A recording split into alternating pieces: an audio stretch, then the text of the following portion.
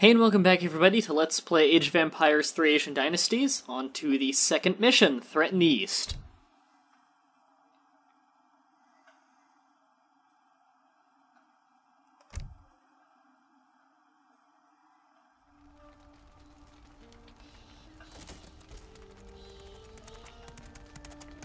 Our victory is short-lived. Allies of Ishida have risen up in the eastern provinces. The enemy hopes to surround my army on all sides, trapping it like a beetle under a jar. What are your orders, Tono? Crush this threat, swiftly and fatally. You cannot breathe when there is a sword at your throat. I would have waited for Ishida to make a mistake. Instead, you walk right into his trap. You should not question the Master, Kichiro. Obedience means nothing if it is not absolute. It seems I have much to learn. Do not learn too much, or soon I will call you Master.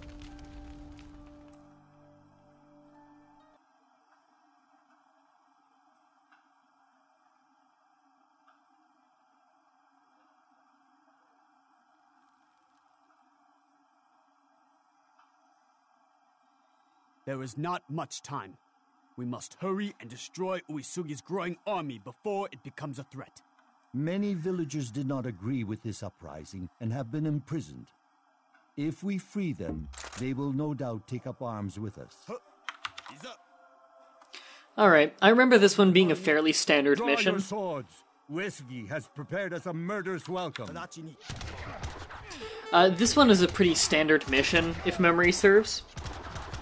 Uh, this one, the main uh, optional objective that you get in this mission is that there are these prison camps like this one scattered around the map, and you don't need to get all of them, but the more you get, they give you free troops. And I believe sometimes even citizens. This first one will give you this little village, though, to use as a home camp. And I believe the way this one works is after a certain time has elapsed, uh, an enemy army will appear and you have to be strong enough to defeat it. Many thanks, my lord. This village is friendly to you, but I cannot say the same for the others. This whole province is a staging area for war. In a matter of minutes, Uesugi will hurl his army upon us. Okay, first thing I want to do is ship in more villagers. Another second. The villages are Uesugi's weakness. He cannot recruit men from villages that are no longer standing. Alright. Just hockeying up a few things. Okay. Uh, first of all, we already start with the barracks in this. That's where the Japanese produce all of their main uh, foot troops, all their infantry. You have your archers, which are good against infantry. They tend to fight musketeers.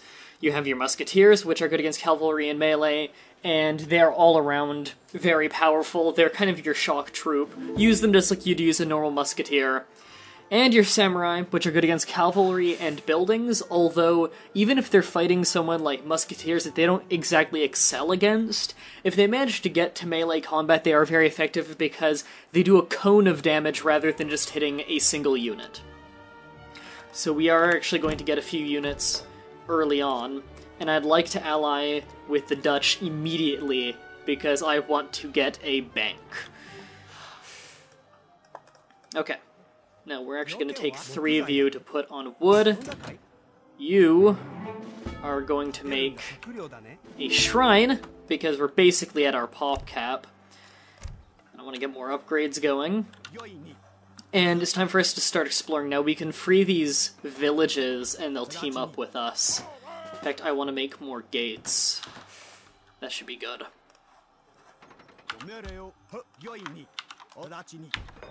And I will actually have my troops go right here. Did I not hotkey? There we go. Um, you can collect treasure along the way. I guess this one's a lot of coin for for how easy it is.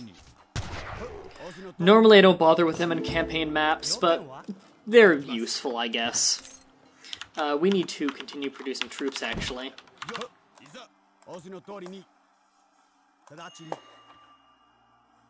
And here we go. Trade posts. Uh, trade posts work the exact same way as they do in the other versions of the game. You're my leader. Trade post is P, right? For God, that's inconvenient. Uh, but yeah, you get resources or experience of your choice whenever the carriage goes along the trade route. So that'll help you get shipments a lot faster. It's incredibly useful. I highly recommend it. Start getting gold for my military. Trading post is built. Okay. I do highly recommend you actually scout along trade posts in every map, both campaign and not. Uh, entirely just to figure out where all the trading posts are. The army arri- enemy army arrives in uh, yeah, enemy army arrives in uh, eight minutes, nine minutes actually, just under. So we're gonna keep scouting along here, and we're gonna reach this village.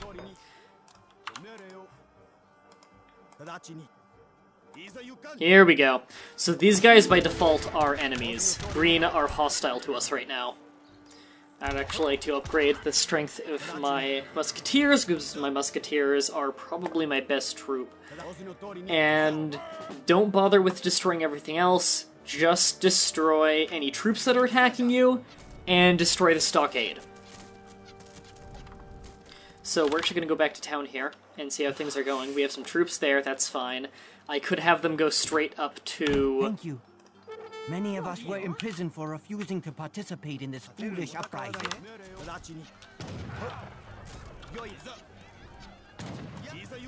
Okay.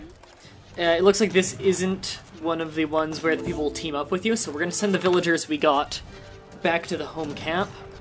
Anyone else? Because some of these people were soldiers, we're going to take into our army, and we're to demolish this base. Uh, some bases will join you, some won't. So, if it won't, burn it down, because you don't want the enemy army having the extra resources. As for back home, keep forgetting I put this on Hotkey 4. I usually put a stable on there. Uh, as you can see, our resources are doing really well. In fact, I haven't been uh, quite up to date on getting all the units out. One village has fallen to us, but there are others. We must So- hurry to put down this rebellion. I would actually like to get a stable soon, so we're gonna put you on wood after. In fact, we're gonna put a few people on wood. I believe the team will be basically inactive after you take out the uh, the city center, just for the sake of this campaign. In fact, you people are gonna go on that and go to gold. Uh, not enough wood for that. You'll have enough in a second, though. There you go. I want them getting us gold.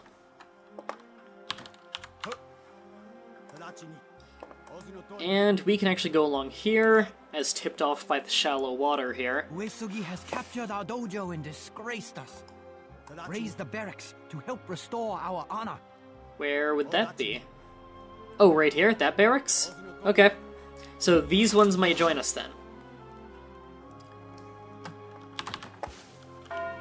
Oops. Sometimes when I mean when I mean to hit uh, V to send out a villager, I hit B, which sends sounds the alarm. Yeah, I recommend you don't engage in a fight right here. Just take a few hits and keep marching. Uh, the reasoning for that is you don't want to fight next to a castle. The castle's just going to keep shooting you, and you're going to end up taking a lot more damage. Fight here, where they don't have a castle to support them. And once again, the more villages you take out at these key points... Oh, it's that dojo you want me to destroy. Whatever, I'll destroy this one too. Um, the more city of these town centers you take out before the army arrives, the weaker the army is going to be. And I actually want... We don't have much room for shrines in this stage, is kind of the frustrating bit. You almost got that thing down. You know what? Kill that guy. And keep burning that down, I guess. So we're actually good there, and I'd like it if you keep if you kept producing. In fact, I want experience. So we're switching the shrines to constantly generating experience rather than food, because we are fine for food. you guys just ran out of wood. Well, we have plenty of woods over here. So go cut that. In fact, I need more people on wood. So I will have them focus on that for now.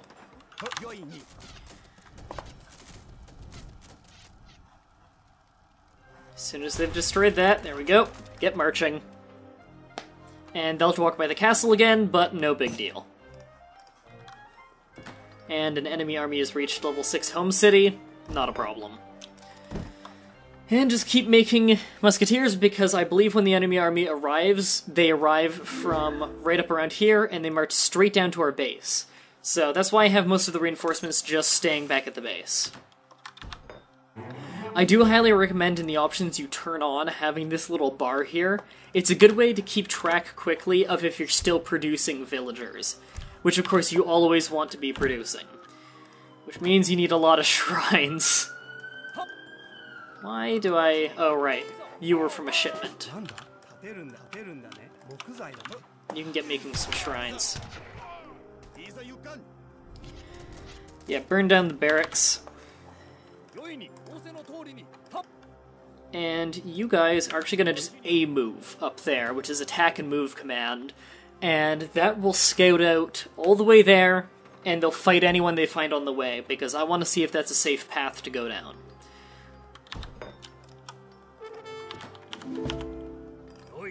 You guys can stay here. Yay, kill these guys. And the enemy army arrives in about three minutes, so we need to get moving. We are yours, General. With your support, we will win back this province for the people. Ooh, okay, what did we get here? We got some special units, I saw some mercenaries in there. Uh, the Hatamoto Samurai. These are mercenary samurai units that are much more powerful than your average samurai. Uh, looks like it's a pretty straight path here. Do I want to engage with this castle? Not really. No, I'm going to walk past it. And I'd like to keep producing units, however, unit cap. Really, just build as many as you can. And I'm actually going to put these on a different hotkey for now. Have these guys fight. Unfortunately... Oh no, musketeers are pretty good against these guys, right? The archers are better against, um... I believe the archers are better against samurai.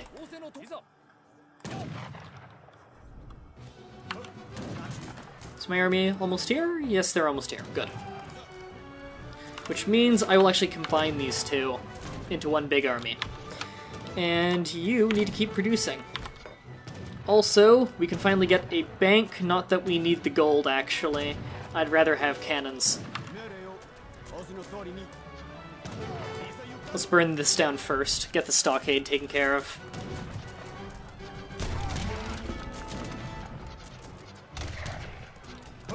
And you guys can join the army. You guys can go right back to the base, and we can keep producing. Now that we have this Dutch cannon here, horse artillery, they move very fast, we'll have that at the base.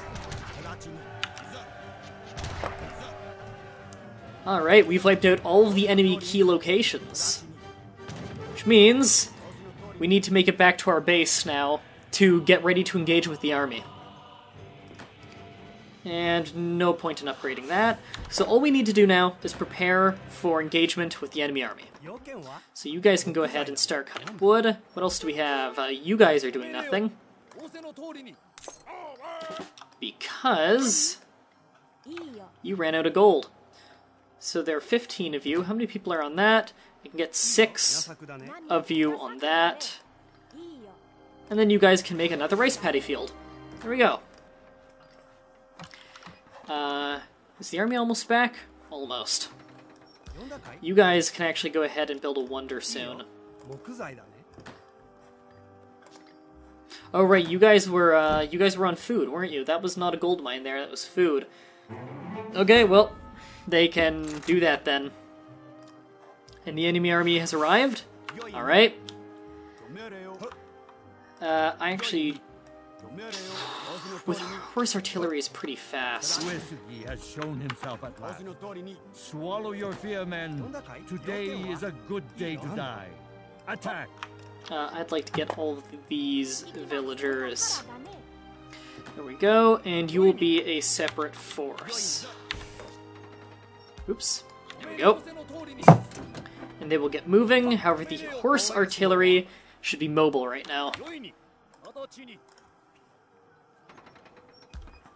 Okay. Are they just going to march straight down? Yeah, that's actually a very small force, as you can see. Uh, it can be a lot bigger if you didn't take the initiative. However, I took the initiative. So, no real point in investing too much in the Dutch right now. Attack! Leave no head attached! Alright, if you're sure you want to engage head on, then I'll be prepared for it with cannons. Uh, the European teams have by far the most artillery in the game, uh, and the and the best straight up for power artillery. What's that there? Oh, I didn't even realize he died. Whatever. Um, they have the best artillery in the game for like just straight up power. Although China does have some very good artillery. In fact, India's uh, India has one of the most overpowered units in the game, if you ask me. Uh, which is their siege elephants with the cannons are insanely powerful, and you'll be seeing that later in this let's play. However, um, being able to ship in European cannons really is a severe advantage for us. Uh, a church would also be nice, entirely because European only upgrades and stuff from it. Alright, let's just watch the engagement, because I know that we can do this just fine. Uh, normally, I would recommend that you intentionally, um, if you want to really up your level of play, start sending units that are specifically good against certain units at them in a battle. Don't just A move like this. But for the sake of this Let's Play, uprising has been crushed. Come, it is time to count the dead. We still have bloodier battles ahead of us. there are times when it's worth it, and there are times where it isn't worth it unless you've gotten quite good. I'd say that the time it is that it's worth it most is when you have certain artillery on the battlefield that are only specifically good against a certain thing, like only good against in- infantry. You want to make sure they're focused on the infantry, and the ones that you're going to want to micro around the most, micro around meaning um, control manually the most, is usually your cavalry. Because usually you're going to have less cavalry because they tend to be more expensive, and because they're fast, you can maneuver them around the battlefield more. They tend to have hand attacks too. Hand attack cavalry, you're really going to want to specifically tell them, like, hey, go around the flank and hit their artillery, or something like that, because in a head on engagement, you might lose because their artillery might overpower you. But if you tell your hussars or Cossacks to ride around their flank and attack their artillery, you might end up wiping out their artillery and then outmuscling the rest of their army. And plus, if you have your cavalry already around their flank, then if the enemy army decides to retreat, you might end up picking off a few units during their retreat so that they have to spend more resources on getting their army back to full strength. So, just something to keep in mind. We earned five cards that time. Uh, you earn cards very fast in this campaign because you only have five fights with each civilization. So, they level you up very, very quickly. Um, nice ones to get are always transforms into a shrine to support population and generate resources. However, it's it's two shrine wagons and you can send it twice. So that is a lot of free wood you're getting worth. And you can get two of this card actually, and really start mass shipping it. Although this will be an age two and this will be an age one, not not really a big deal because um, you get to age two, so you ge- you generally get to age two very quickly in this game. And in fact, in most campaign missions, you start in age two because teams don't really get military in age one. Um, I would recommend uh, Bloody Harvest though. That is another upgrade for your riders, and it's very very good. Uh, these infinite sending rider cards are incredibly good and the fact that you start with one is insane to me. But I would recommend you get this one as well. It can be age 3, whereas this is age 4. Although it's a little bit less, having one in age early really does come in handy. Uh, artillery upgrades are nice. I'm not going to do a whole lot of them right now. The archers are nothing to shake a stick at, they are good, but again, I'm not going to be working on them much. Uh, you can get a line of upgrades here of your daimyos. These are kind of your battlefield generals, and they are very good. There are other ones to uh, consider, especially because they can often they act as a mobile barracks. They can train on the battlefield, although they do not fight or move while they're training units. You can get dojos, which I believe train special units, but I could be wrong. Yeah, construct a powerful dojo is this one. I believe that one has special units. Uh, castle limit is increased. This is always a very standard one. It says outpost, war hut, and blockhouse, um, and castle. That for Japanese, that just means castle. You only have castles, so the castles are tougher, and you can have more of them. It's nice, but it wouldn't come into play in the campaign. 10 center increased, you can call it regulars and sentries again. That's kind of uh, it's to prevent getting rushed. Again, um, it it's a card that you might use online. You would never need it in the campaign. Uh, oh yeah, changes from food to a lesser amount of wood for the Zen diet.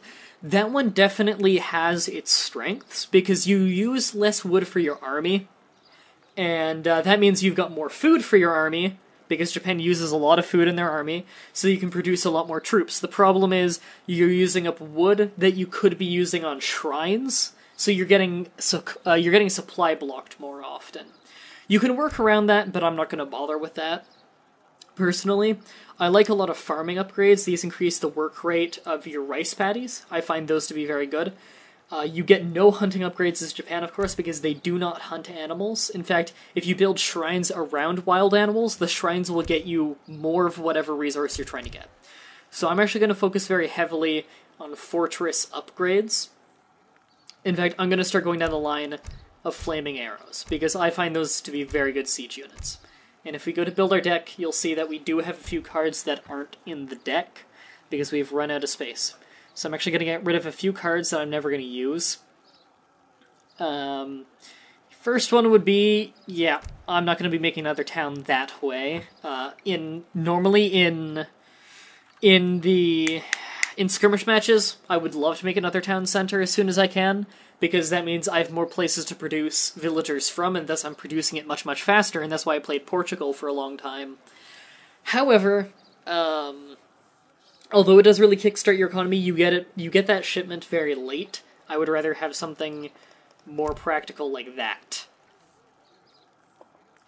Um, as for everything else, I do actually want age four, age three. I would actually like the two flaming arrow card, in which I will get rid of the ninja because I do not want to be spending that much money just to ship a ninja. Ninja are good. I don't want to be spending that much on it, so I would rather take the flaming arrow. So that's it for this episode.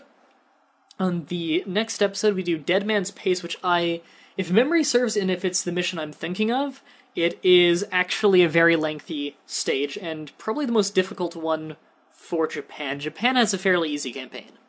Until next time, have a nice day.